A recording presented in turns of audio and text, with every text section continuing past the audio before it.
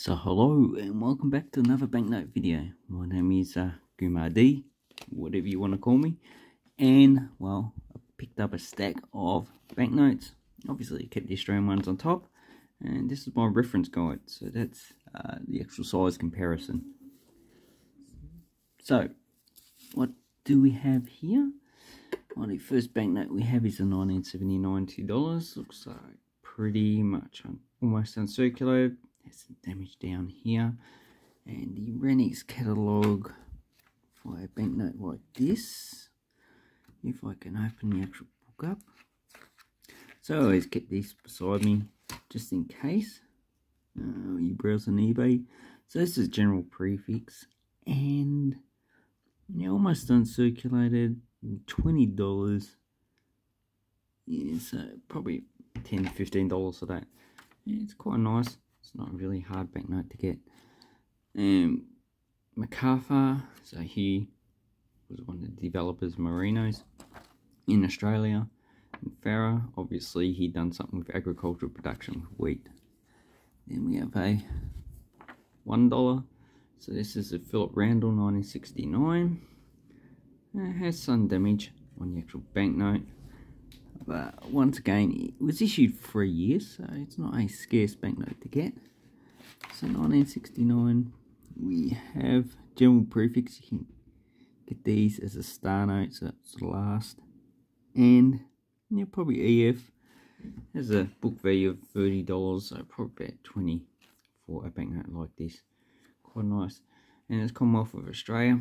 So the key dates you want to get for these would be the 1970 um, 67, which are lower print because 1966 had a hell of a lot of banknotes. Has a coat of arms, Elizabeth II, and Indigenous portrait. So I actually quite like that banknote. Okay, the next one we have is a Siberian banknote from Russian Civil War. So this is 1919. The Civil War didn't ran into the early 20s. So 25 rubles. And this one is Mar 1st of March, oh, 1st of May 1919. And there are two varieties of this. There's, so this one has the one in the front. There's another variety without the one. And I believe the one the one in the front is uh, harder to get than the no day one. So, so this one is a uniface, meaning it was only printed on one side. So, maybe I've use the light to look at the UV, or I mean the uh, watermark. You can see the watermark on that banknote. Don't know, looks like a churn churn. Anyway, yeah, I'm not too sure on the value of this one. Probably 10 to $20, I would say. Okay, then we have a Argentine 100 pesos. So this is not really worth much. Uh, these were first issued in 1994, now equivalent to 100 US dollars. But at the current exchange rate, uh, it's only worth 30 US cents. So that's a great reduction in value of the peso. That's why I wouldn't buy Argentine pesos at the current exchange rate. I'd just wait until they totally use value. So this one's probably worth a dollar or two. Uh, you should be able to get them uncirculated. Although this issue has been superseded, so they don't. They've issued a different banknote in oh, I can't remember 2017 or somewhere. But you can still spend this in Argentina for 100 pesos. But in Australia, it's worth about 50 cents in the exchange rate. So quite nice. And Conquistador Deserto. So Conquest of the Desert. Anyway, that's banknote I don't have going into the collection. Okay, then we have a Haiti. So this is a, I did look at these up before because um, I made this video because I put all these on Numista. So I keep track of my collection. So this is a 1989 one there from uh, Haiti. And it was the lowest banknote in circulation at the time. Currently, they use a coin for this denomination, which they first issued in 1995. So, a lot of people in Haiti, being the poorest country in the Americas, probably average lifespan is about 30 to 40 years. So, Um, majority of people never have seen this banknote and they would not understand that, you know, one time you could spend it. Anyway, this has uh, Toussaint Louverture. He was part of the independence uh, movement, and I know I butchered his name. And on the back, we just have the coat of arms of Haiti. So it has cannons in it with a, a cap on top of a palm tree. So it's quite nice. You can pick these up for two to three dollars still. Then we have a Danish 10 kroner. Well circulated, probably fine condition. So it has a landscape in the background. I think this is Born Island. Borno. And on the front we have Hans Christian Andersen. And the date of this one is the two numbers in the middle, so 71. So this is 1971. 1978 they replaced it with a coin. As you can see the watermark is just 10. So this one's probably still worth at least $20. Danish banknotes are a bit expensive uh, because the currency has been quite stable for long periods of time. So I put them in, you know, with Austria and the Netherlands in, you know, expensive banknotes.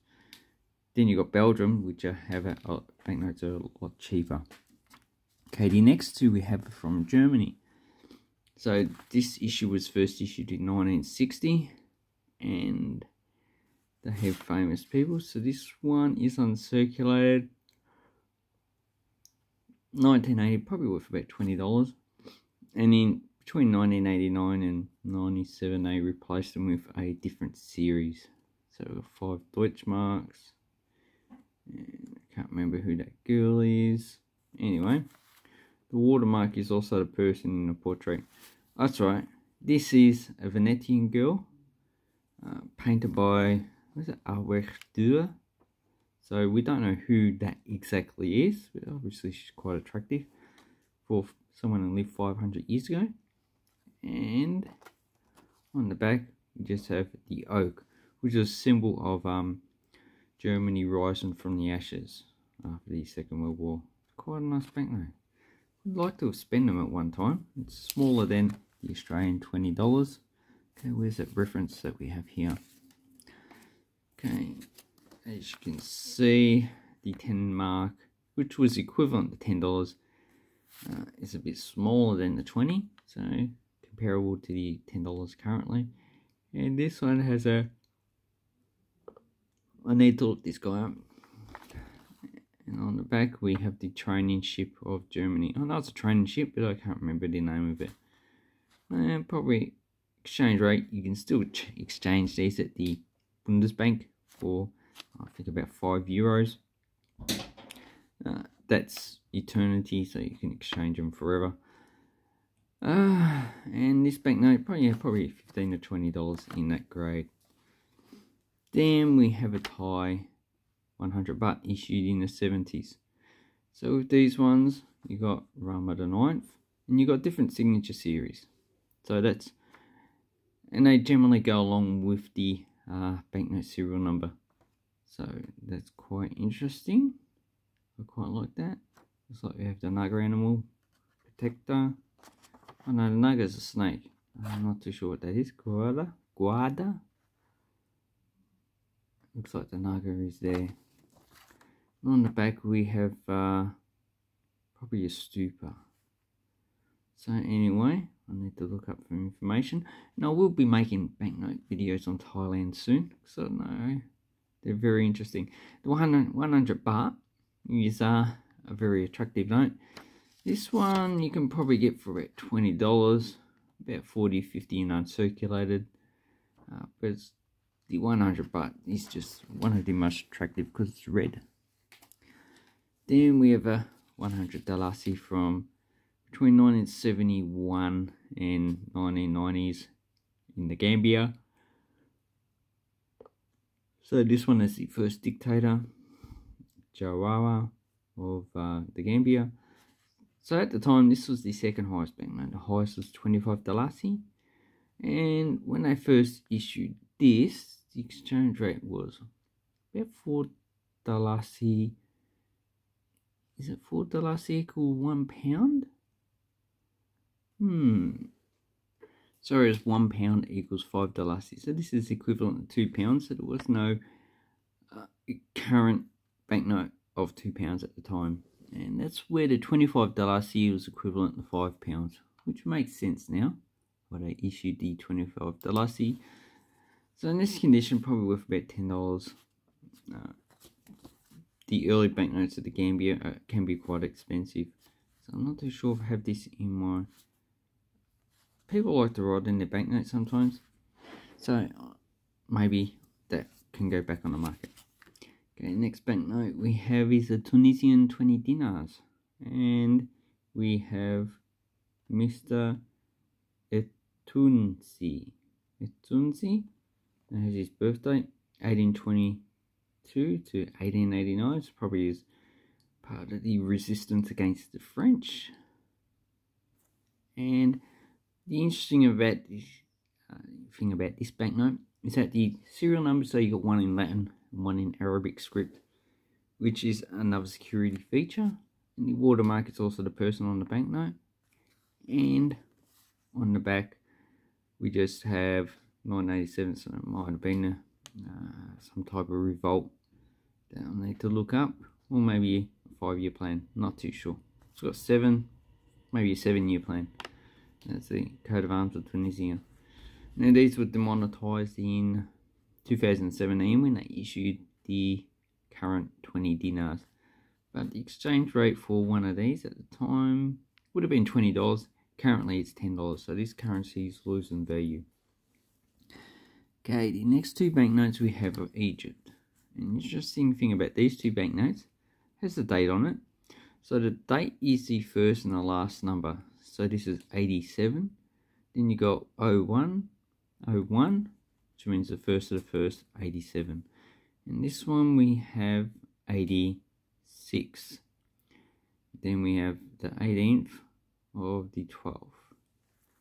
So 18th of the 12th, 86 and we have a 5 and 10 pound banknote.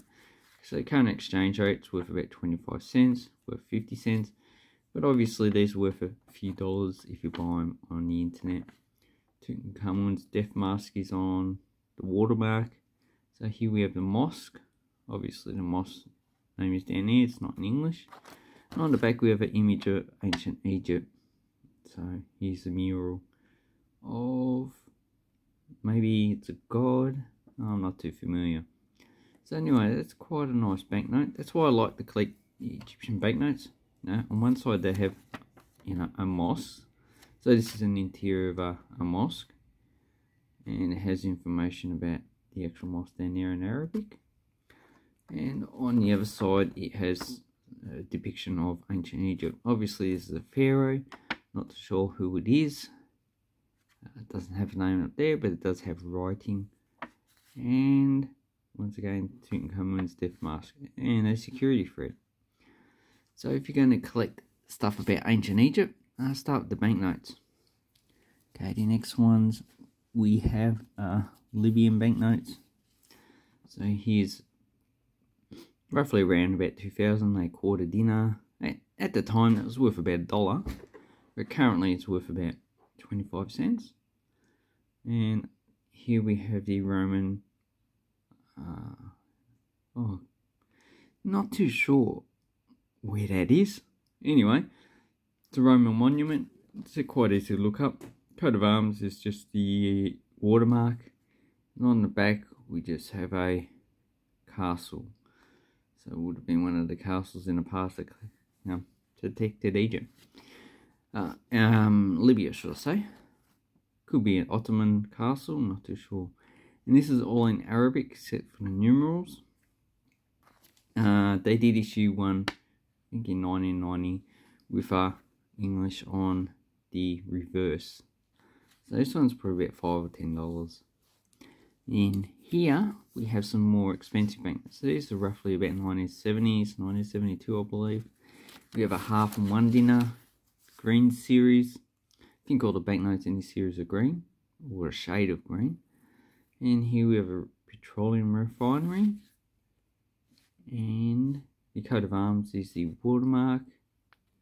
So this one's probably worth 5 or $10. A bit harder to get this series.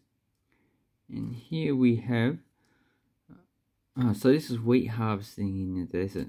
So here we have a, a boom to spray water on the actual crop. Socialist peoples living in Arab Jamhuriya, so it just means Republic, Central Bank of Egypt. And the one pound, well, we have a mosque on it.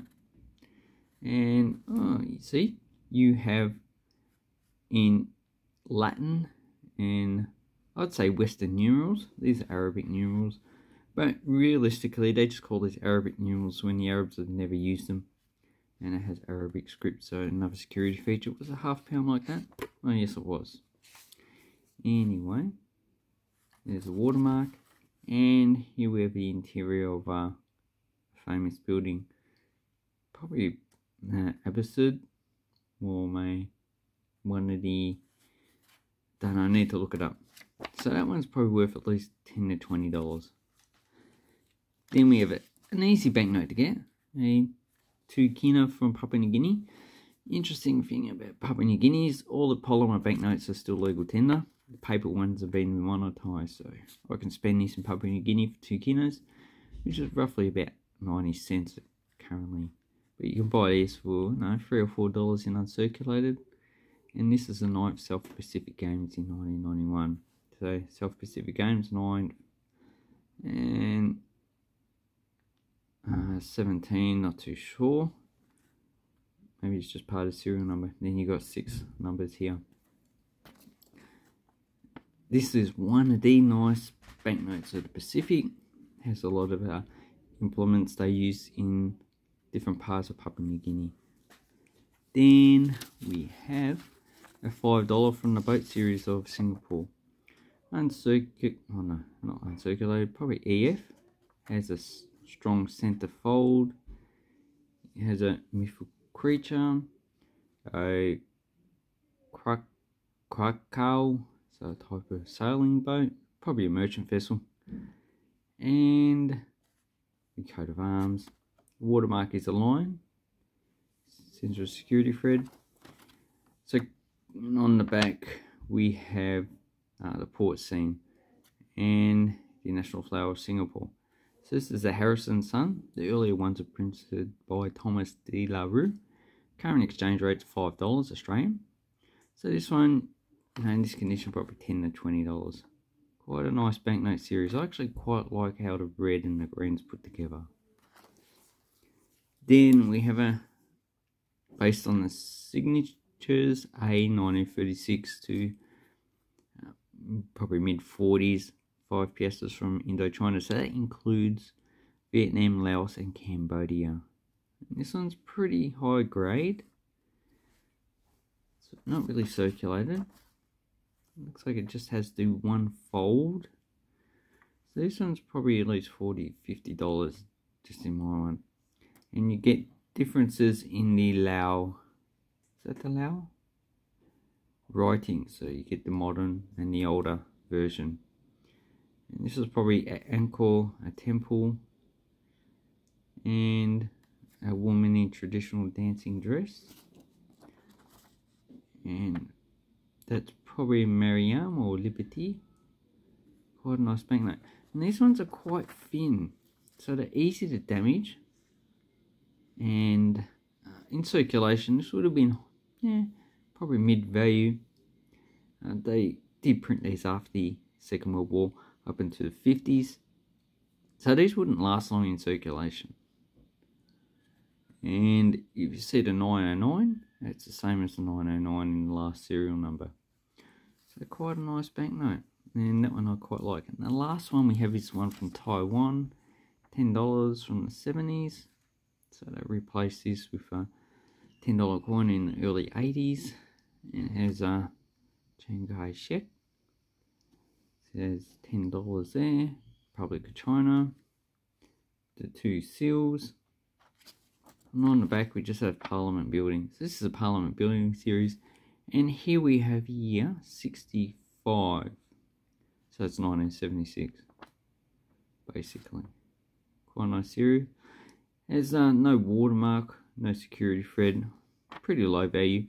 And the exchange rate's about 20 uh, 50 cents currently but you know this one probably about five to ten dollars if you wanted to buy in this grade anyway i hope this helps you with your banknotes and what to look for so what is my favorite of all these well i would have to say i like the hmm, this one the 10 baht nice beautiful red note and yeah, it just has a lot of beautiful design features. Anyway, bit of a long video. Thank you very much. Have an awesome coin and banknote collecting time. Thank you and goodbye.